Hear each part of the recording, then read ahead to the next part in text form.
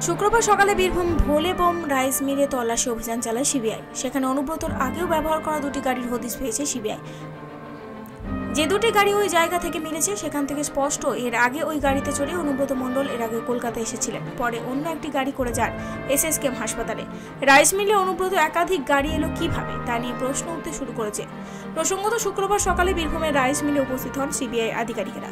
সেখানে গ্যারেজে একাধিক দামি গাড়ি মিলেছে। প্রত্যেকটি গাড়ি সাঁটানো রয়েছে পশ্চিমবঙ্গ সরকার, লেখা স্টিকার। রয়েছে পাইলট কারও। এই গাড়ির মালিক কারা, তা নিয়েই উঠছে প্রশ্ন। এদিন প্রায় চল্লিশ মিনিট ধরে অপেক্ষা করতে হয় সিবিআই আধিকারিকদের।